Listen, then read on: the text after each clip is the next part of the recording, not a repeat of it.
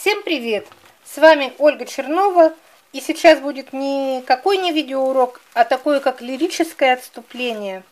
Я в этом году получила много семян. Вот у меня, я даже завела, как человек, который любит раскладывать все по полочкам, даже завела тетрадь «Обмен семян». Все семена, которые мне приходят, я сюда вот записываю, фамилию, город, кто мне прислал, и наименование. И потом буду свои, как отзывы. Я что хочу сказать?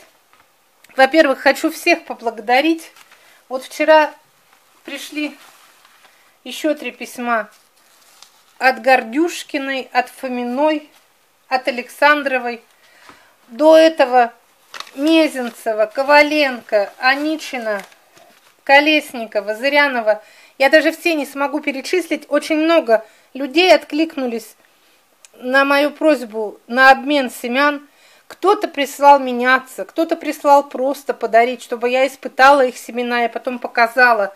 Я к ним очень трепетно отношусь, я их все переложила вот в отдельные мешочки. Видите, вот это от Кушнарь Александры, Амурская область, Назарова Марина, Московская область, Новохадская, Михайлова, Антонина Кузнецова из Челябинска, Серебрякова Галина, Воронина, Зырянова, Миренкова Нина. Но я не буду всех перечислять, потому что писем было очень много. Если кого-то не назвала, я извиняюсь. Я вам тоже благодарна, благодарна всем. Я отношусь очень бережно к семенам. Если не в этом году, то в следующем я обязательно все эти семена посею. К чему я это хочу сказать? Не только с благодарностью. Хочу несколько слов сказать.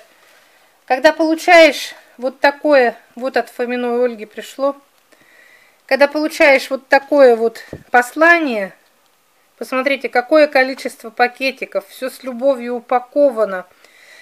И когда я прочитала вчера или позавчера вот комментарий этой, не буду называть фамилию, назову ее Антошкиной, этой ясновидящей Антошкиной, которая сказала, ой, зачем вы выписываете семена, они же есть в магазине.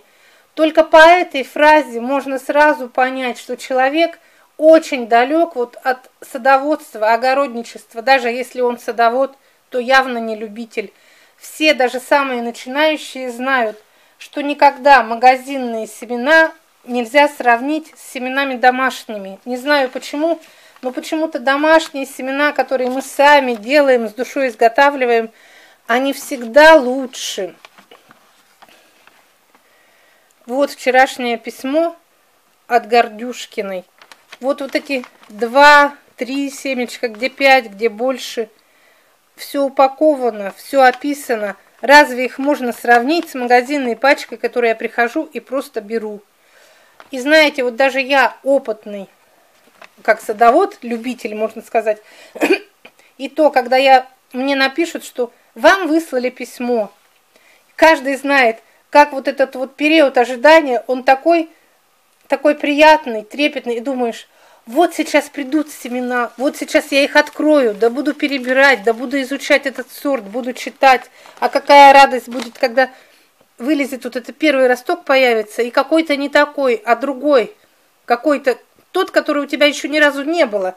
Вот это настоящее счастье. Вот, например, Тут есть киевлянка, зеленая капля. У меня не было. Монгольский карлик тоже буду первый год выращивать.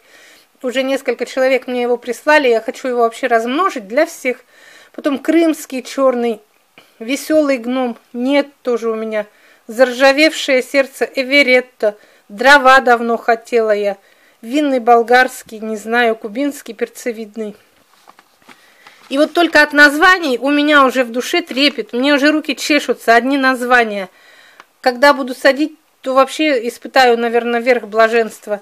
И я думаю, каждый садовод и выписывает, он не только для того, чтобы получить семена не магазинные, а вот этот вот период ожидания, это как ожидание праздника. Мы Новый год, когда ждем, готовимся, приятные хлопоты. Праздник проходит быстрее, и мы больше, у нас в памяти остается именно ожидание этого чуда – так и это ожидание семян – это очень важный момент и стимул для садовода. когда он ждет, строит планы, вот у него в мечтах что-то так, так, это очень важно. Это нас как воодушевляет на новые там рекорды какие-то, побольше сортов испытать, все это узнать. Для человека это очень важно. Так что вот это вот Антошкина, когда написала, зачем вы выписываете, в магазине есть. Но в магазине эти бездушные пачки все-таки. И мы, наверное, выписываем семена и друг с другом меняемся. И не столько для того, чтобы вот там много. Я уверена, что половина этих сортов в этом году я не смогу посадить.